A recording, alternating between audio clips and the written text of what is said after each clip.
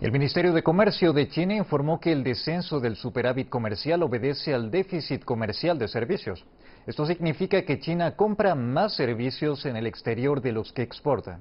En el mercado chino la demanda de servicios del exterior es muy elevada, a raíz de la falta de proveedores de servicios locales de calidad. La cartera atribuye el repunte de la demanda a la modernización del consumo en China. El desglose de los datos arroja que las importaciones de China durante el mes de mayo crecieron un 16%, cuatro veces más que las exportaciones, lo cual redujo el superávit comercial de China en un 43%.